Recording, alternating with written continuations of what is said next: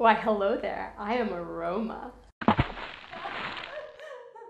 Are you interested in conserving the environment? I am. That's why I'd like you to consider a solar powered toilet.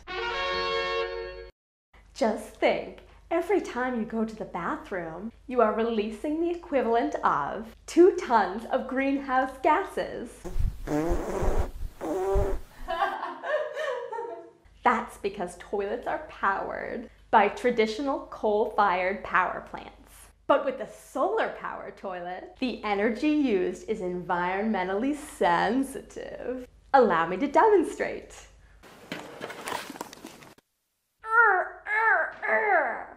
One moment.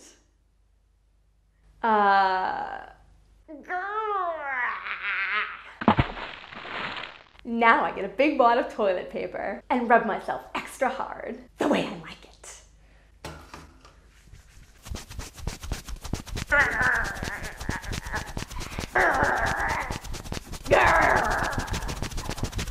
And now that you're done, you can flush. Wait a minute. Eve?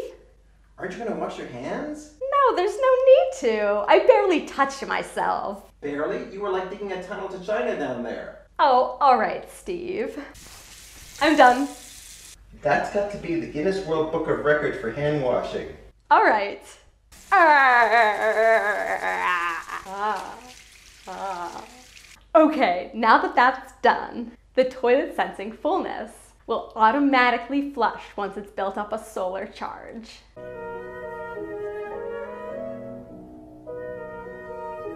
All we have to do is wait for light from the sun to build up a charge on the toilet. It won't be much longer now. Look, the sun's coming out. I'm sure it will work very soon. Sometime. So anyway, if you want to be environmentally sensitive, get a solar powered toilet for your bathroom. And while you're at it, think about using toilet paper made up of 100% recycled paper products. It's good for the environment and full of earthy goodness. Recycled. I hope this tip on being environmentally sensitive in the bathroom has been helpful to you. I am Aroma.